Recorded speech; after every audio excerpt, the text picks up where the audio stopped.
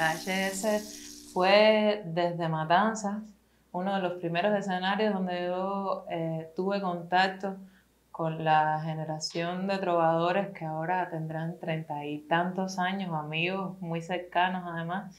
Y fue donde primero empecé a escuchar trova contemporánea, es de mi tiempo, y donde empecé a tocar con, con todos esos autores. Y además me, me, dio la oportunidad de tener mi primer disco a través de la beca El Reino de este Mundo y de participar en muchísimos conciertos y de conocer a una generación de, de compositores, de creadores.